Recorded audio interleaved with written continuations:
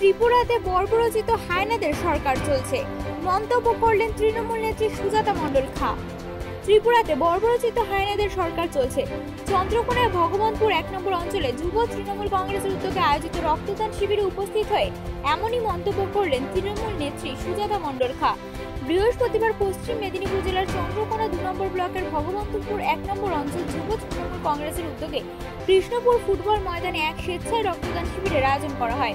এই রক্তদান শিবিরে প্রধান অতিথি হিসেবে উপস্থিত হন সুজাতা মণ্ডল খা শিবিরে রক্তদাতাদের সাথে শুভেচ্ছা বিনিময়ের পর সংবাদ মাধ্যমে বক্তব্য রাখতে গিয়ে ত্রিপুরায় একের পর এক তৃণমূল নেতাদের উপর আক্রমণ ও অভিষেক বন্দ্যোপাধ্যায় সহ এক গুচ্ছ প্রথম সারির নেতার বিরুদ্ধে ত্রিপুরা পুলিশের কড়া মামলা প্রসঙ্গে কড়া ভাষায় সমালোচনা করেন তৃণমূলের সুজাতা মণ্ডল খা তিনি বলেন, ত্রিপুরায় এক বর্বরচিত হায়নাদের সরকার চলছে। বাংলা থেকে তৃণমূলের যুব ও ছাত্র নেতারা ত্রিপুরায় গিয়ে ওখানে মুখ্যমন্ত্রী বিপ্লব দেবের নির্দেশে যেভাবে আক্রান্ত হয়েছে, এটা আদিম যুগের বর্বরতার পরিচয়। তিনি এও বলেন, ত্রিপুরায় আমাদের উপর এই অত্যাচারের পরেও আরও বেশি করে ত্রিপুরা দখলে ঝাঁপিয়ে পড়ব এবং আমাদের লড়াই আগামী দু হাজার নির্বাচন পর্যন্ত জারি থাকবে। এখন ওখানে একটা বর্বরচিত সরকার চলছে ত্রিপুরাতে এবং সেখানে হায়নাদের সরকার চলছে। তাই জন্য আমাদের কিছু যুব এবং ছাত্রের নেতাকর্মীরা সেখানে গেছিল। সেখানে যেভাবে তারা সেখানকার ত্রিপুরার মুখ্যমন্ত্রীর আদেশে যেভাবে ব্রুটালি অ্যাটেক্ট হয়েছে মানে এটা আজকের আদিম যুগের মানে আদিম যুগের বর্বরতার এটা পরিচয়। আজকে এটা ভাবা যায়, আজকে বিজেপি যখন আমাদের রাজ্যে লড়াই করছিল আমাদের নেত্রী বা আমাদের সরকার তো আমরা এটা ভাবিনি কখনো যে বিজেপির উপর অত্যাচার করতে হবে, বিজেপির কর্মীদের মারধর করতে হবে। তাহলে কেন? সারা ভারতবর্ষে যে কোনো রাজ্যে, যে কোনো দল যেতে পারে।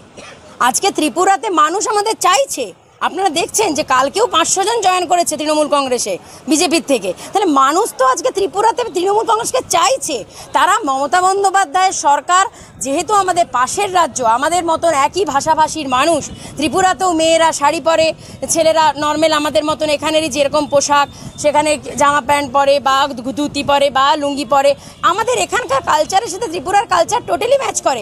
আমরা এখানে মাছ ভাত খাওয়া বাঙালি, ওখানেও মাছ ভাত খাওয়া বাঙালি রয়েছে। সেখানকার মানুষ, আমাদের ভাষা, আমরা বাংলা ভাষায় কথা বলি, ত্রিপুরার মানুষও বাংলা ভাষায় কথা বলে।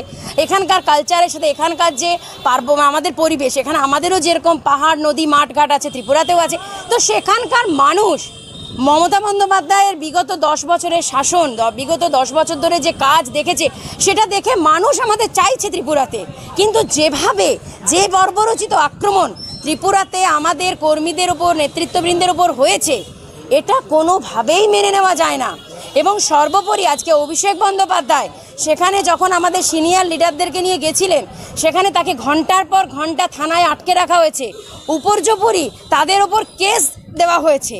কিন্তু এর পরেও যদি ত্রিপুরার বিজেপি ভেবে থাকে যে আমরা মমতা বন্দ্যোপাধ্যায়ের সৈনিকেরা, আমরা তৃণমূল কংগ্রেসের সৈনিকেরা, আমরা ভয় পাবো বা পিছোপা হব, তাহলে এটা কিন্তু তারা মূর্খের স্বর্গে বাস করছেন। আমরা এই অত্যাচারের পরে আমরা আরও বেশি করে ত্রিপুরা দখলের জন্য ঝাঁপিয়ে পড়ব এবং ত্রিপুরার মানুষের জন্য সর্বতভাবে তৃণমূল কংগ্রেস পরিবার আছে, সেটা তাদেরকে আমরা পাশে থেকে বোঝাবো এবং আমাদের লড়াই আগামী দু হাজার তেইশে ত্রিপুরায় সরকার গঠনের জন্য জারি থাকবে পশ্চিম মেদিনীপুর থেকে শুভ চক্রবর্তীর রিপোর্ট টাইমস বাংলা।